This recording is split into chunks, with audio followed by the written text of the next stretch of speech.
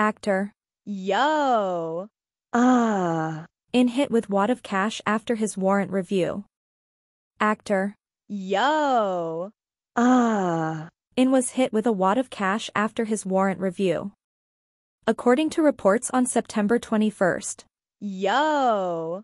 Ah. In received a warrant review on the charges of illegal drug use violating the Narcotics Control Act, destruction of evidence, and criminal evasion at the Seoul Central District Court. The warrant review comes about four months following the first arrest warrant filed by police this past May, which was rejected. At the time, the court stated, it's difficult to conclude there is a risk of destruction of evidence or escaping charges.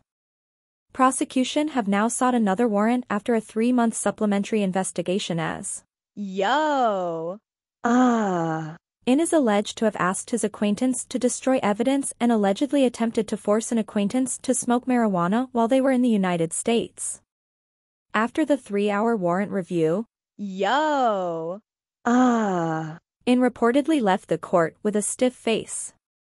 A male citizen then threw a bundle of cash at him, stating, use it for your inmate fund.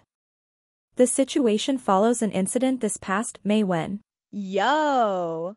Ah. In was hit by a bottle of coffee on his way home from the Seoul Central District Court. As previously reported, Yoo.